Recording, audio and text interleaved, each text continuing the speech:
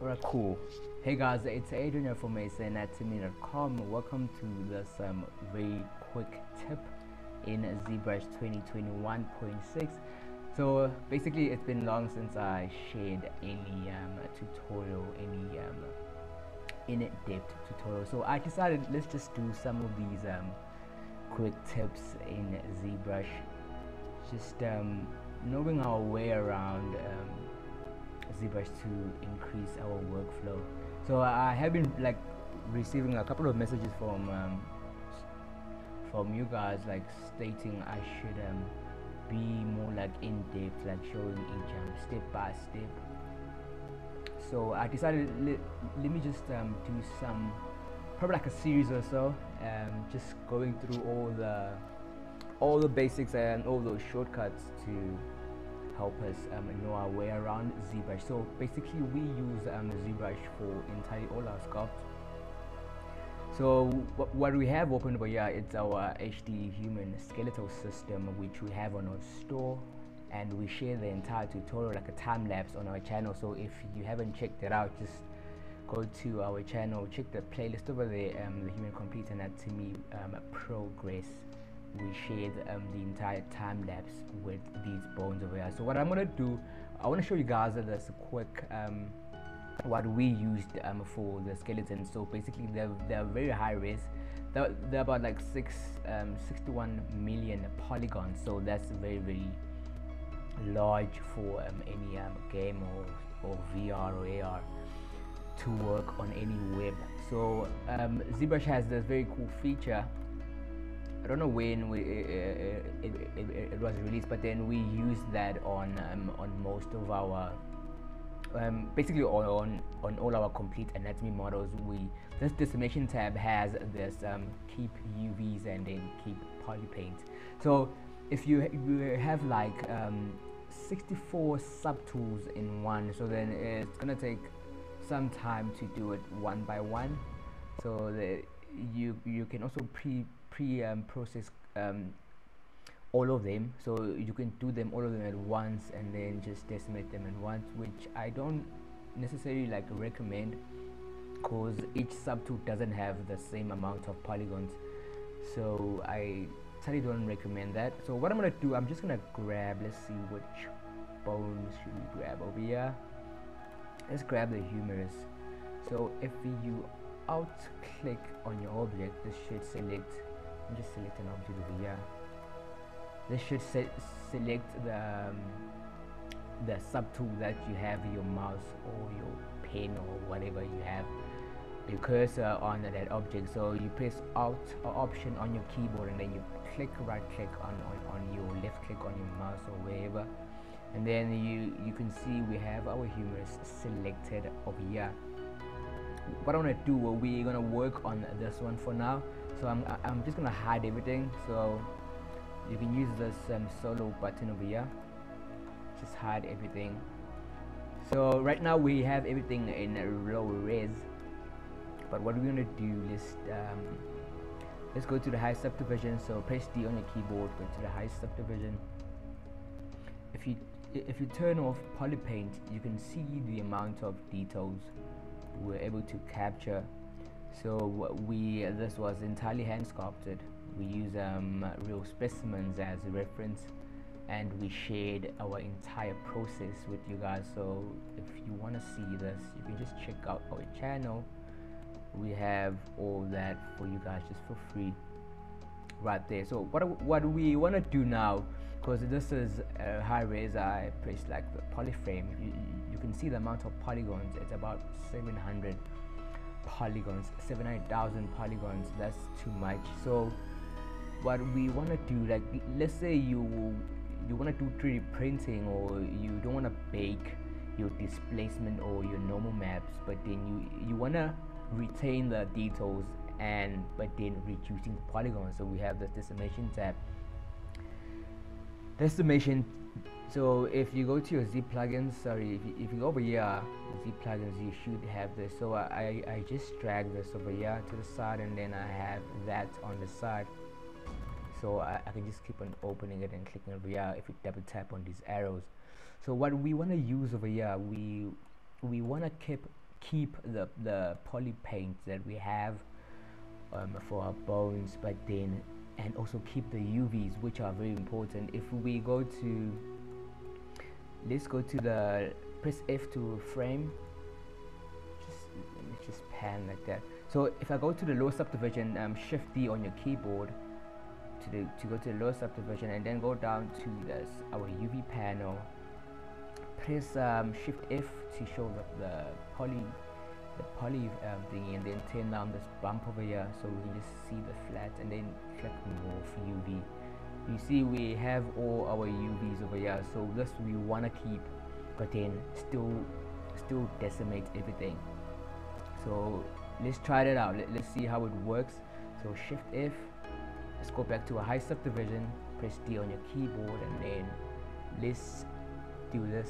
So I make sure you have keep keep UV selected and then use and keep poly um, poly paint selected. I normally go with the default the, the 25 so I advise you guys not to change this.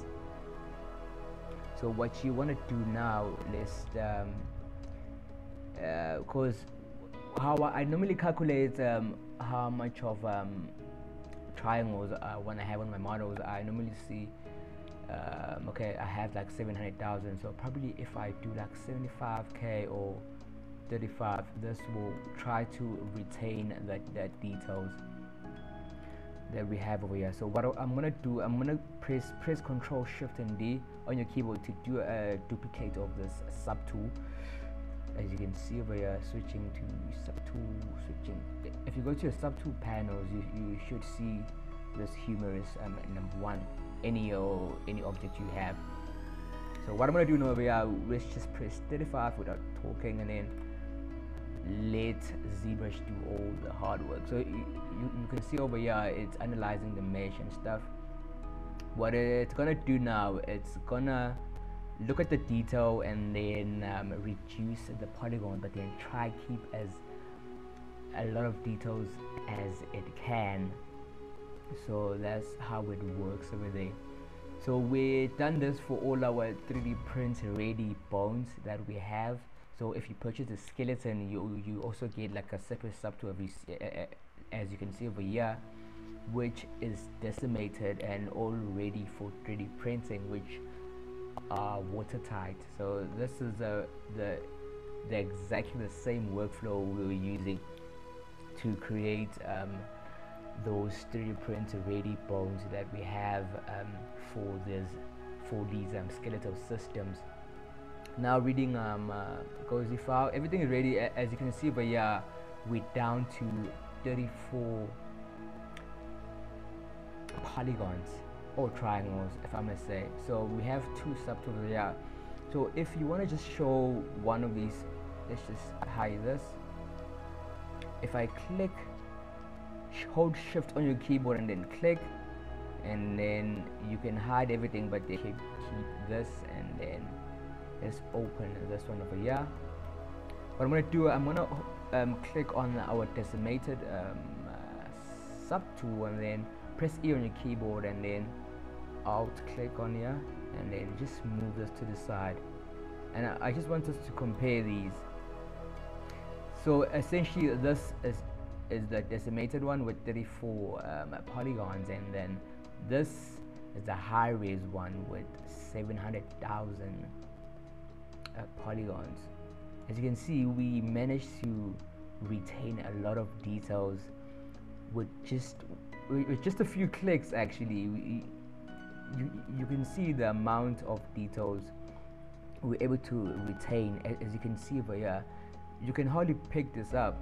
If I turn off the polyframe you can see each and every detail that we have still applies over here so you can hardly tell the difference uh, unless you zoom very very um, closely. And if you probably like chose 75 it should work fine. Like it, should like should um, retain uh, low poly um, low triangles um, so basically now you can use this um, on the fly. So you can use this without even applying any displacement maps or um, just applying your, your texture map. So you, you can just export let's say you want to export everything now you can just go to let's say multi-map exporter and then just export your poly paint and then you should have everything right there without exporting these um, but then it, it, it, like depends on your workflow and what you're looking for um, to have. So okay that's your decimation. What are our let's check now our UVs R remember we checked the keep keep UVs um, button over here.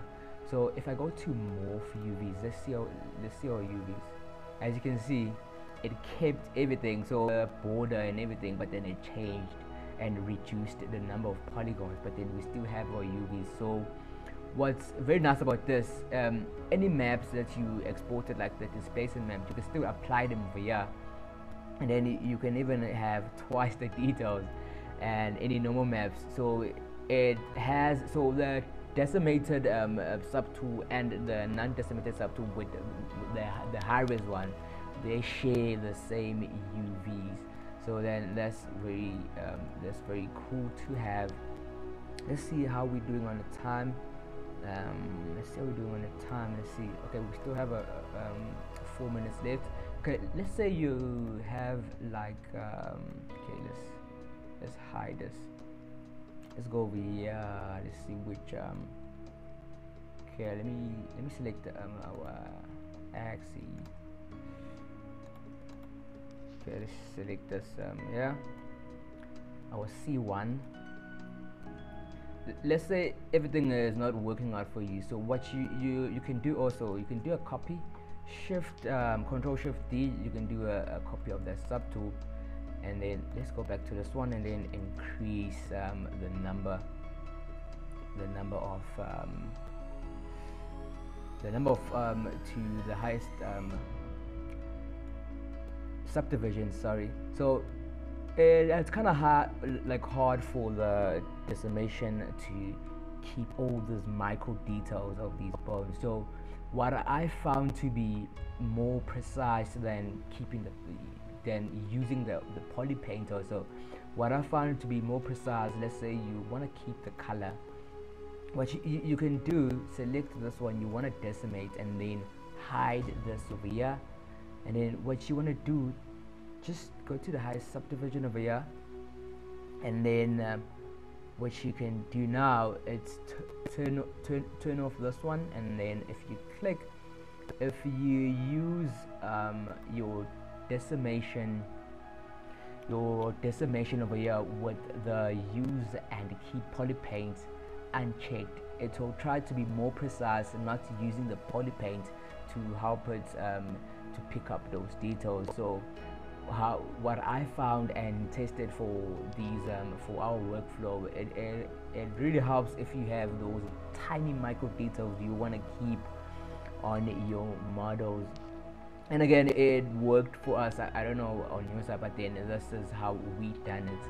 For so for some models or for some subtools for some bones we had to uncheck the use and keep poly paint and then um, we were able to keep some of those micro details that you guys can see on our bones right there. So this this um, should take some time but then if you want to be more precise and if you want to achieve um, and achieve those details and if you want to keep those details I strongly advise this.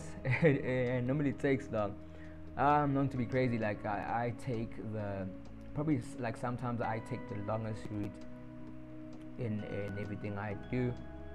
But then um, for more precision I strongly advise you guys to um, to, to try this. If you have those very very complex models like for example for our skull it has HD subdivisions so we had to do this. As, as you can see now everything is done so it tried to keep all those details as you can see over here so now once you're done with um, the decimation you can just um, open this over here and then you see now we don't have the, the, the poly paint um, color. So we go down to project turn off geometry and then make sure your distance is at 1 and then this should project from the from the top subtool and make sure your color is checked over here and then click click project project all.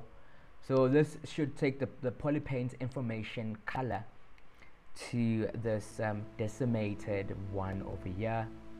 So this basically the same take the so you get like basically the almost the same result but then this is more precise than the first step we went through. So that's what I have for today. So um, I strongly advise you guys if you wanna know if you want to know something else you could you can just comment on the section below and then I'll probably do a, that certain tutorial. We can um, go through that. So if you have any question or you unsure or you have like a specific subject that you want us to cover in ZBrush or anatomy or human and animal anatomy um, you can just comment on the section below. And again I have to go for now. It's Adrian from saanatomy.com and I'll see you guys on the next one